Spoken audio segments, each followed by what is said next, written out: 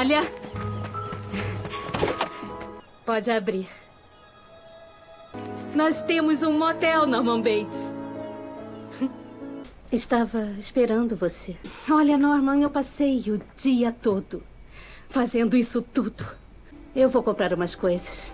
Bom jantar. Mãe, você disse que queria que eu tivesse uma vida aqui. É sim que tem uma. Norma, não perca a calma comigo. Eu só tô cuidando de você. Motel Bates. E mandei fazer em azul. É a sua cor favorita. Que legal, mãe. É. Sou uma idiota. Mãe, o cara te atacou. Acho que é profundo bastante.